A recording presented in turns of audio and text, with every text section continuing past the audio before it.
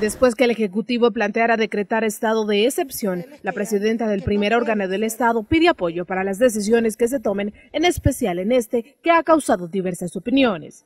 Mi opinión es que hay que apoyar al Ejecutivo en estas medidas que le pueden permitir llevar adelante eh, planes específicos de combate a la delincuencia en territorios que están realmente conflictuados y que la población está siendo realmente víctima de acciones crueles que ya no, que no pueden ser eh, permitidas.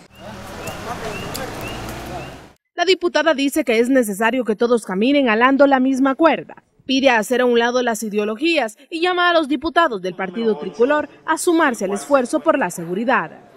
Yo sigo insistiendo en que Arena debe abandonar esa actitud electorera. Estamos ante un problema serio y eh, todas las fuerzas políticas debemos concurrir al llamado del presidente para llevar adelante esta gran batalla eh, contra la delincuencia y por eh, el rescate del país para sacarlo adelante. La Asociación Nacional de la Empresa Privada hizo público un comunicado en el que considera que el estado de excepción es solo para desviar las miradas del tema de pensiones, una teoría que Lorena Peña critica. El señor Dabuya tiene días de que sus enfoques son muy partidistas.